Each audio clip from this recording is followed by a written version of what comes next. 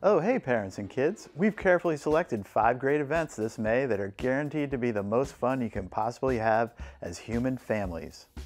Number one, this Saturday, May 4th, how about having a parents' night out sponsored by Pedro's Judo Center in Wakefield? I mean, while Pedro entertains the kids, go have a brewski, pro creators. Don't worry, they're judo experts. Your kids will have a blast following an attention grabbing judo storyline and playing themed games. Kids must be at least six years old to participate. Event is from 5 to 8 p.m., $35 per person.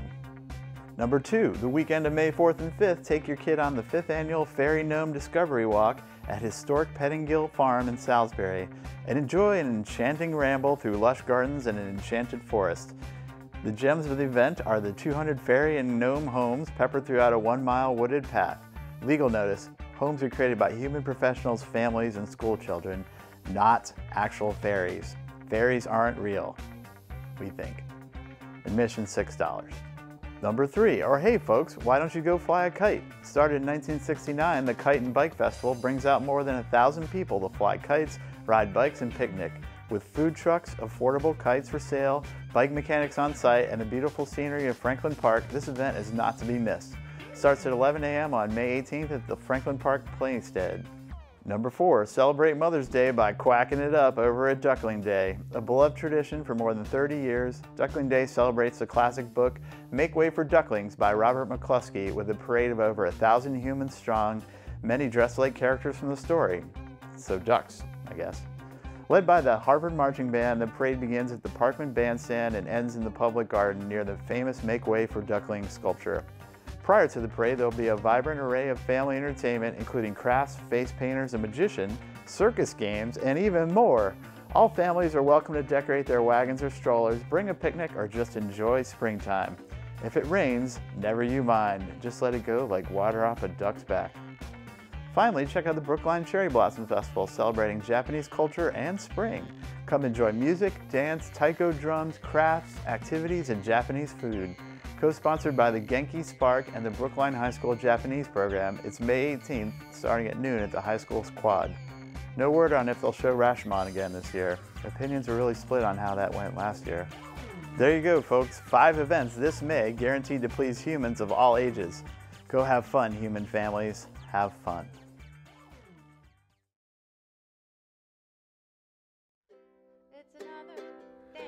Hi there, we're here with Amy Kucharik from the SomerLele Festival, which is the Somerville Ukulele Festival. It's happening in May.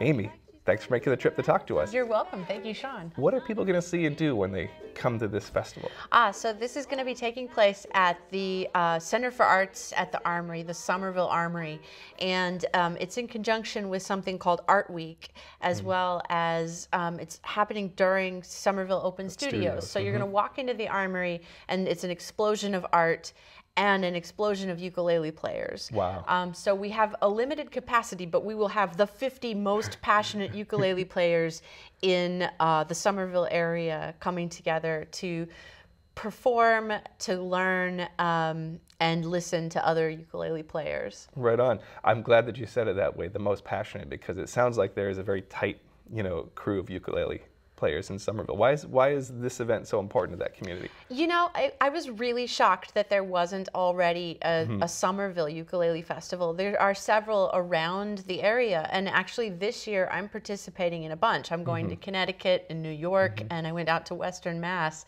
And there was nothing right here. Um, there's there's some things in like metro area, but uh, so I put the word out and I said, "Hey, would you know, would some of my friends who play ukuleles be interested in this?" And mm-hmm. there was such a very positive response that I decided to build it myself. Yeah, right on. So, um, you've got a bunch of names on your poster. Tell me about the folks who are going to be at this event. Oh yeah, well, so in addition to me, um, and I'm a singer-songwriter, and and I'm kind of, I guess, known for playing ukulele. But um, my headliner for this is Grateful Lely, and they're a, a local ensemble uh, that includes Ryan Elvanos and Tim Mann. And Tim Mann is also one of our instructors. Mm-hmm. And Tim is known for having played with Greg Hawkes, who ha- who was a member of the Cars. All right. But Greg Hawkes is a ukulele player, and so Tim cool. and Greg had several bands together. And now Tim's doing this uh, Grateful Dead covers on ukulele, Fun. which is pretty exciting. Um, we also have Dan O'Sullivan, Mm-hmm. who's uh, pretty well known as a local ukulele instructor. He does the uh, Ukulele Union of Boston, and he's taught at the Cambridge Center for Adult Education. Mm-hmm. Um, we have the Somerville Ukulele Club performing, and they're a group of women in Somerville who play ukuleles. Uh, they play like popular songs, Mm-hmm. and uh, they're really they're like the darlings of Porch Fest. Um, right on. And then we have Kenny Raskin, um, who reached out to me about this when he heard that the festival was happening, and he's just amazingly talented. And he um, has has made himself known as a professional clown, but he also is this ukulele player.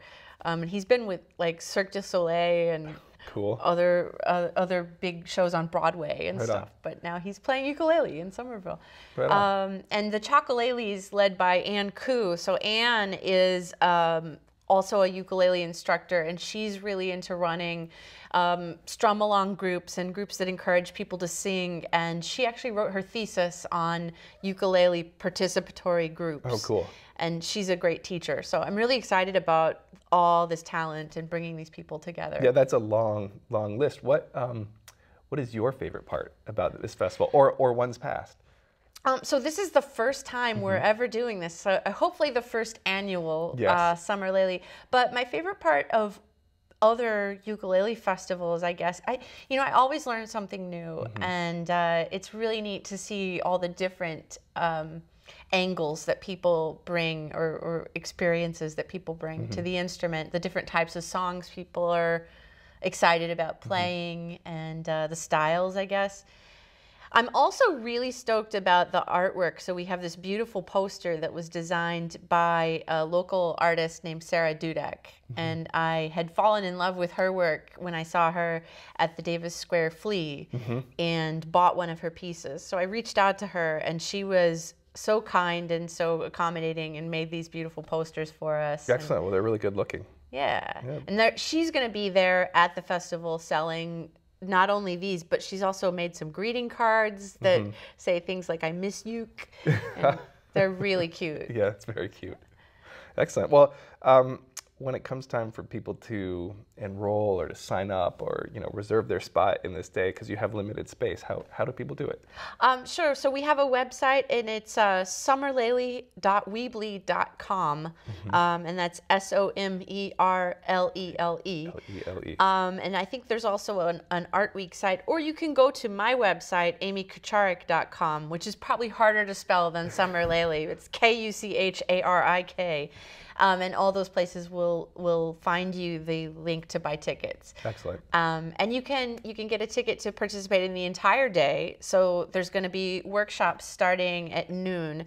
Um, you know, taught with the people I mentioned, and uh, some of those are going to be. You know what? I, I forgot to mention. There's Please also um, an open room during the day. Ta- um, that's sponsored by Miranda's Hearth. Mm-hmm. So they're a local art group run by uh, my friend Miranda, Mm-hmm. and uh, they're taking a room where people will be able to just come and do a Skillshare or swap songs or do an open jam all day long. So Mm-hmm. Right if, if you're not into like sitting down in a workshop and you just want to play, there's also a space for Sort of that. birds of a feather meetup. Yeah, exactly. Yeah, cool. Um, so anyway, all of that is happening during the day till 4:30, and then Mm-hmm. we're taking a break, and then we're going to have the concert in the evening. You can buy tickets just for the um, workshops or for the whole day. Mm-hmm. And uh, concert tickets, if there's space, will be available at the event. If if there's space. Yeah. right on. Cool. Well, I hope that it turns out to be an awesome event. I hope you you know your doors are breaking open with a, a huge crowd who want to participate. Yeah, we hope there'll be, you know, at capacity, and then we can do it again next year and have a, an, an even bigger festival. Right. Well, good luck. Maybe we'll have you back and talk about how it went. Thank you. Thanks for coming. That'd be awesome. Um,